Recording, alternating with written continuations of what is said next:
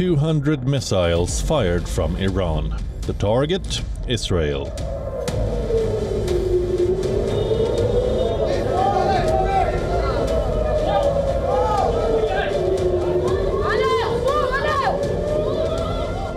It's Tehran's biggest military assault on the Jewish state. Look at this video when a missile hit a target in Tel Aviv.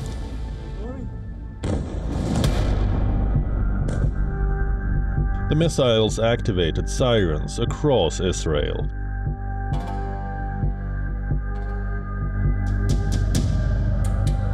Millions of residents rushed into underground emergency shelters.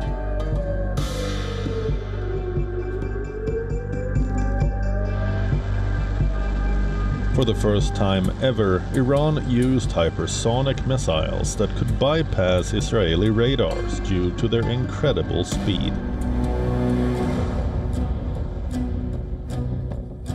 Hypersonic missiles can fly anywhere from 5 to 25 times the speed of sound, or simply 15,000 kilometers per hour. They have a range of 300 to 2,000 kilometers, making them particularly challenging for air defenses to intercept Huge explosions shook Israel as some of the missiles hit after bypassing Israeli air defenses. Successful interceptions also caused blasts. در انتقام خون Iran's Revolutionary Guard Corps said the assault was a retaliation for Israeli killings of militant leaders and aggression in Lebanon against the Iran backed armed movement Hezbollah and Hamas in Gaza. Iran has vowed to retaliate following Israeli strikes that killed the top leadership of its ally Hezbollah in Lebanon, including the group's leader Hassan Nasrallah, a towering figure in Iran's network of fighters across we the region. clear that there will be consequences, severe consequences. For Israel and the United States promised to retaliate against Tehran as fears of a wider war intensified.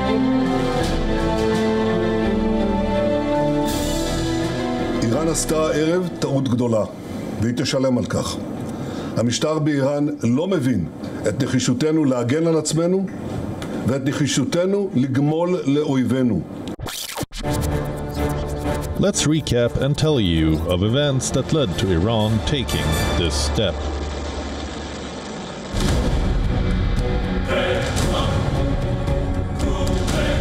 On the 27th of September 2024, at the United Nations General Assembly, Israeli Prime Minister Benjamin Netanyahu vowed to continue fighting Hezbollah for as long as it takes, as he put it. Just this week, the IDF destroyed large percentages of Hezbollah's rockets, which had built with Iran's funding for three decades. We took out senior military commanders who not only shed Israeli blood, but American and French blood as well. And then we took out their replacements, and then the replacements of their replacements. And we'll continue degrading Hezbollah until all our objectives are made.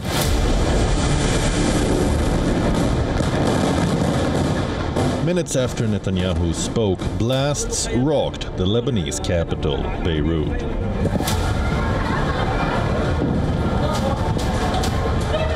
And the Israeli military said it had struck Hezbollah's headquarters.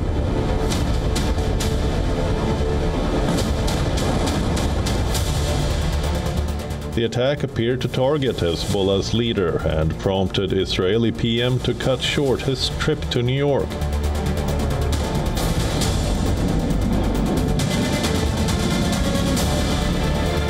Israeli military spokesman spelled it out on X that Hassan Nasrallah is dead. Was this the objective Netanyahu was signaling, the killing of Hezbollah's leader? Hezbollah's leader Hassan Nasrallah was killed in an air attack. Nasrallah's death comes as a major blow to Hezbollah, which has been hit by a wave of unprecedented attacks in recent weeks. the seeming culmination of a series of strikes that began with pager and walkie talkie attacks to a series of deadly airstrikes.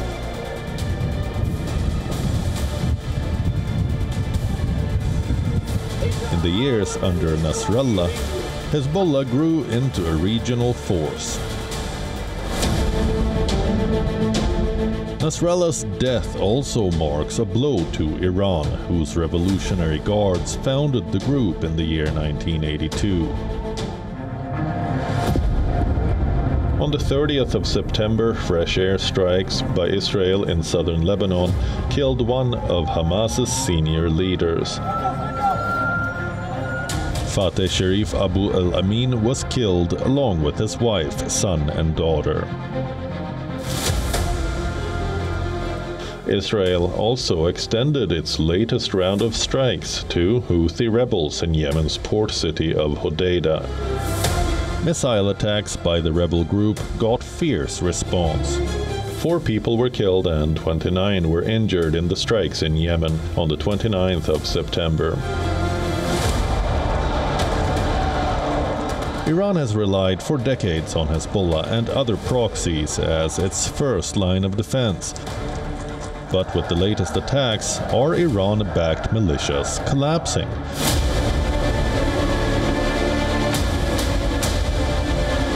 On the 1st of October, Israel Defense Force said it had launched a ground invasion into southern Lebanon, targeting Hezbollah's military infrastructure near the border.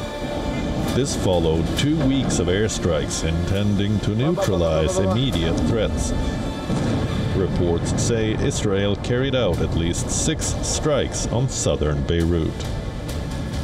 After the Israeli army urged residents in the Hezbollah stronghold to evacuate, Israel has called this incursion the next phase of its war with Hezbollah.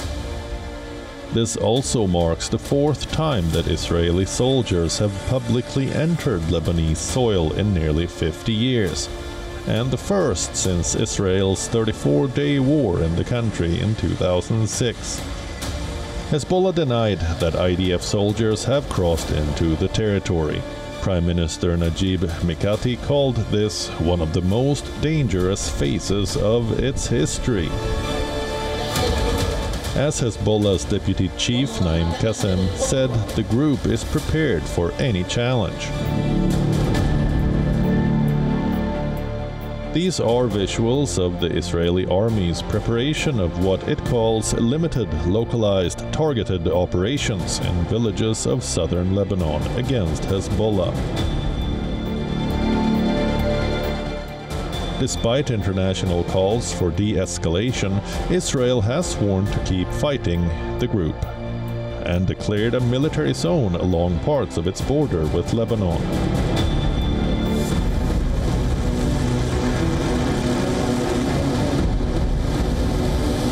Then, at around 7.30 p.m. Israeli time, on the evening of the 1st of October, Iran retaliated. Iran launched a salvo of ballistic missiles at Israel. Israel activated air defenses against Iran's bombardment, and most missiles were intercepted by Israel and a defensive coalition led by the United States. Hours after the attacks, Iran said it had concluded its action for now, unless the Israeli regime decides to invite further escalation.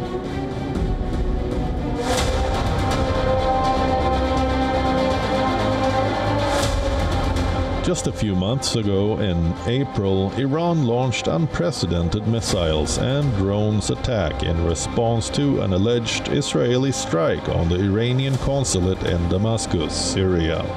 This was the first direct attack on Israel launched from Iran. It marked a new phase in a discord that was simmering for years and spiraled after Israel declared war on Hamas last year.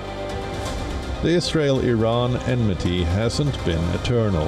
Israel and Iran were allies till the 1979 Islamic Revolution in Iran.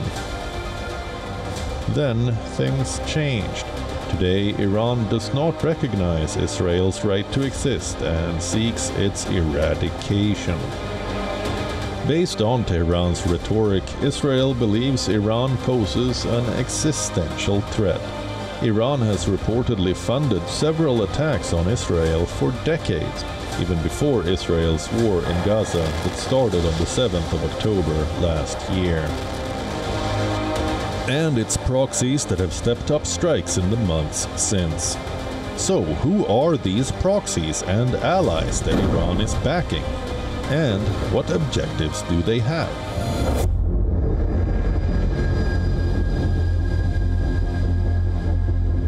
Since the Islamic Revolution of 1979, Iran has built up a network of groups across West Asia. This set of connections has lifted its regional hegemony. It has waged war against Israel and Western powers, especially the United States building the network that Iran calls the Axis of Resistance. This includes Hamas, Hezbollah, Houthis of Yemen, and armed groups in Syria and Iraq. Iran has reared these groups over decades to enable them to carry out attacks on Israel, as well as other countries such as Saudi Arabia, that Iran views as the enemy.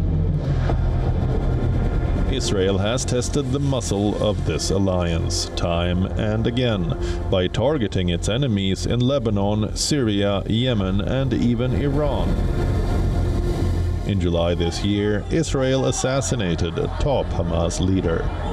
Ismail Haniyeh, as Axis leaders assembled for Iran's presidential inauguration. The response from Iran and its allied militias raised questions about the network's power and coherence. Let's take a look at these proxies and their mechanisms.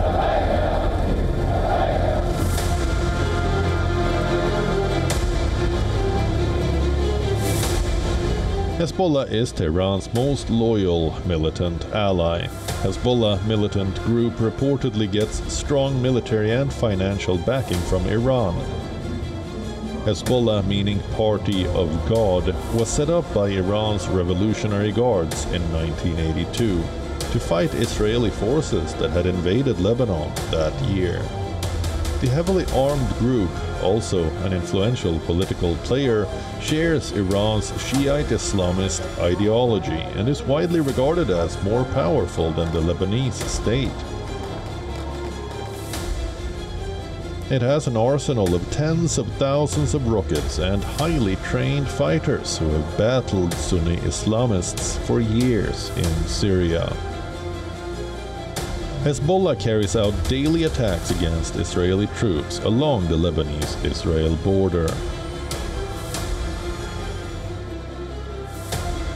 The United States and other governments, including the US allied Gulf Arab countries, list Hezbollah as a terrorist organization.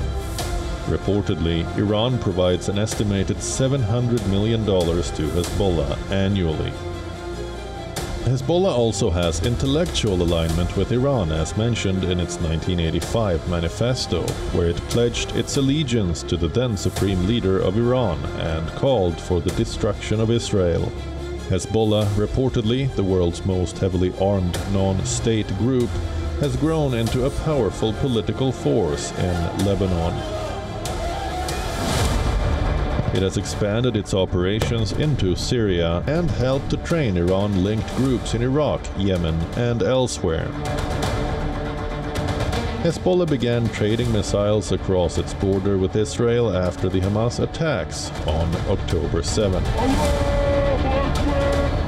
though both sides were careful to moderate their exchanges to avoid a broader war.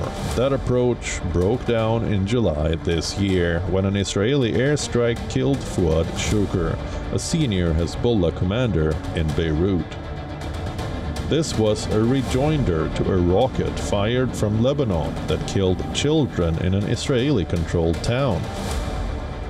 Then in September, a series of blasts rocked Lebanon when pagers and walkie-talkies exploded across the country. Sources say it was Israel that planted explosives in these devices. And then bombing sites in parts of Lebanon where Hezbollah holds dominance. One report says Israel has destroyed half of Hezbollah's long range rocket inventory and decimated its command structure.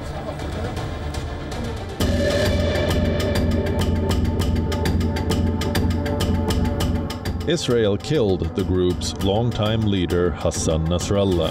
Since 1992, Nasrallah has led the group through several wars with Israel and oversaw the party's transformation into a powerful player in Lebanon. Under Nasrallah, Hezbollah also helped develop the capabilities of fellow Iran-backed armed groups in Iraq and Yemen. Nabil Kaouk, who was the deputy of Hezbollah's Central Council, was also killed in an airstrike. He joined the militant group in its early days in the 1980s. Kaouk also served as Hezbollah's military commander in South Lebanon from 1995 till 2010. He had been seen as a potential successor to Nasrallah.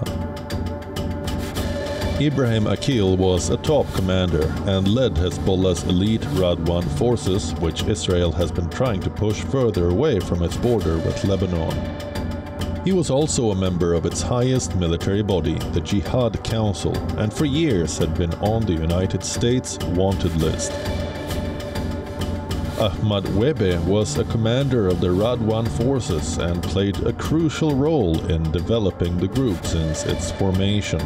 He was killed alongside Akil in an airstrike in Beirut's southern suburbs. Ali Karaki led Hezbollah's southern front, playing a key role in the ongoing conflict. The US described him as a significant figure in the militant group's leadership. Mohammed Sarour was the head of Hezbollah's drone unit, which was used for the first time in this current conflict with Israel. Under his leadership, Hezbollah launched exploding and reconnaissance drones deep into Israel. Ibrahim Kobeissi led Hezbollah's missile unit. The Israeli military says Kobeissi planned the kidnapping and murder of three Israeli soldiers at the northern border in 2000. Their bodies were returned as a prisoner swap with Hezbollah four years later. Nasrallah's second in command, Naim Qassem, is the most senior member of the organization. Qassem has been Hezbollah's deputy leader since 1991 and is among its founding members. Qassem is the only top official of the militant group left now. So what's next for Hezbollah?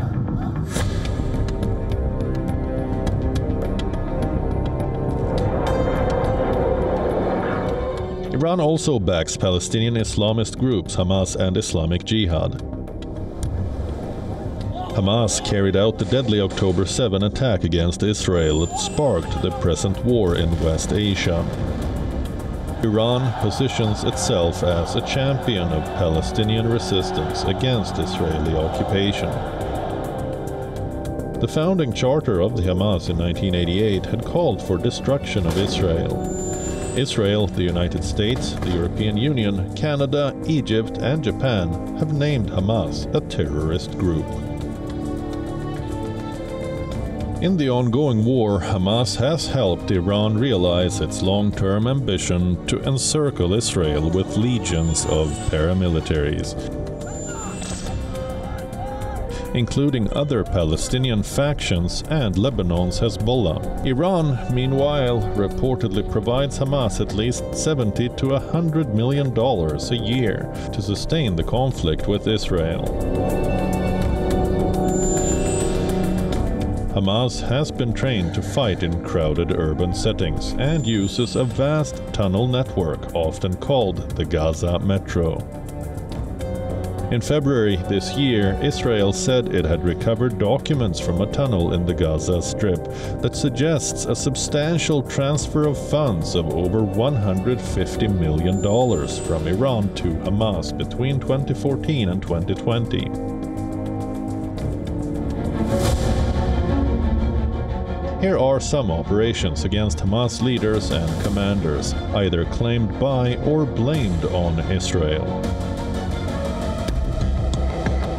Mohammed Deif was killed after fighter jets struck in the area of Khan Yunis in Gaza in July. Deif was one of the founders of Hamas's military wing. The Qassam Brigades is believed to have been one of the masterminds of the October 7 attacks on southern Israel on the eve of the Gaza war. Ismail Haniyeh was killed in the early hours of July 31st in Tehran. He was reportedly shot by a missile that hit him directly in a state guest house where he was staying in Tehran. Israel didn't claim responsibility for the attack. An Israeli drone strike on Beirut's southern suburbs of Dahiyeh killed Deputy Hamas chief Saleh al Aruri in January this year. Aruri was also the founder of the Hamas military wing, the Qassam Brigades.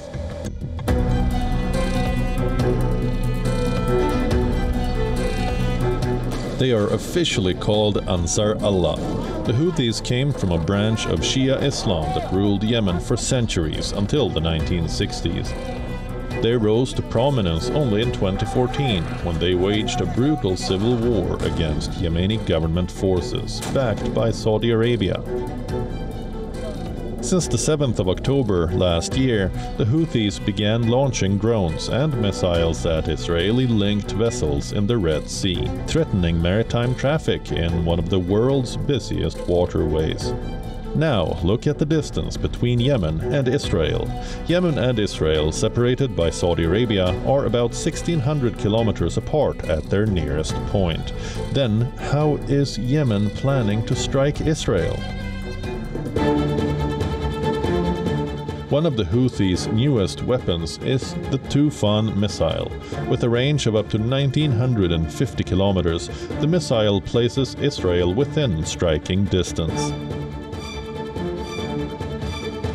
Saudi Arabia and its allies accuse Iran of arming and training the Houthis, but the extent of the relationship is disputed, and Tehran has denied funneling weapons into Yemen. In 2022, the US seized thousands of weapons in the Arabian Sea. It said they likely came from a single port in Iran, signaling that Tehran was exporting arms to Yemen and elsewhere. The arms seized by the US Navy included rocket launchers, machine guns, and sniper rifles. However, Houthis called the allegations of Iranian weapons smuggling an illusion. Just two days after the death of Hezbollah leader Hassan Nasrallah in Lebanon, Israel launched a wave of airstrikes against Houthi rebels in Yemen, widening their offensive against Iran backed militants.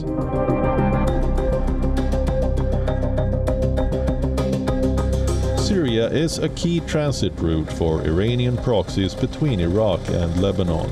The Syrian government, led by President Bashar al Assad, is part of the axis of resistance, but has not played a direct role in the current conflict. However, Syrian territory has been an arena of escalation. After the Syrian civil war in 2011, Iran intervened to prop up President Bashar al Assad, deploying guards, advisors, and fighters from Iraq, Pakistan, and Afghanistan. The Syrian government has for decades been a close ally of Iran, and Iran backed forces have been deployed across much of Syria since arriving more than a decade ago to aid Assad in the Syrian civil war. Syria also hosts fighters who are recruited in Iran and controlled by the Quds Force, one of five branches of Iran's Islamic Revolutionary Guard Corps. The Revolutionary Guards also filed at least two militias in Syria. The Fatemiyun Brigade, made up of Afghan refugees, and the Zainabiyun Brigade, made up of Pakistani refugees.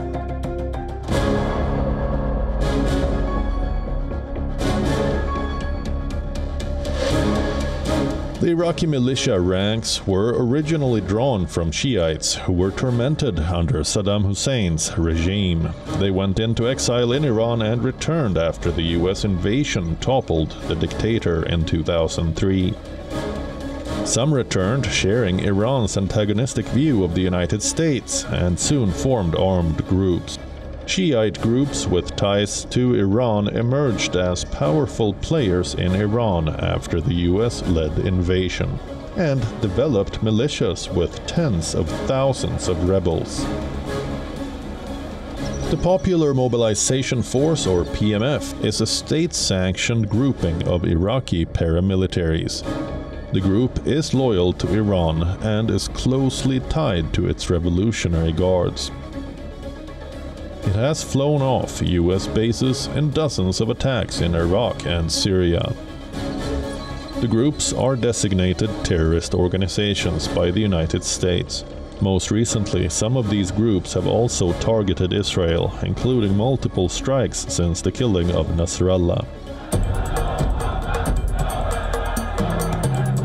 Iran's supreme leader Ayatollah Khamenei and senior military commanders in the Islamic Revolutionary Guards Corps have issued unifying guidance to all its different allies, including Hamas in the Gaza Strip, Houthi rebels in Yemen, Hezbollah in Lebanon, and Shia militias in Iraq and Syria. Before October 7, 2023, all these groups were ideologically opposed to Israel. But they were also fighting their own conflicts and were not rallying around supporting Hamas. Now they have all one common objective defeating Israel. The question is will Iran's axis of resistance be able to beat Israel?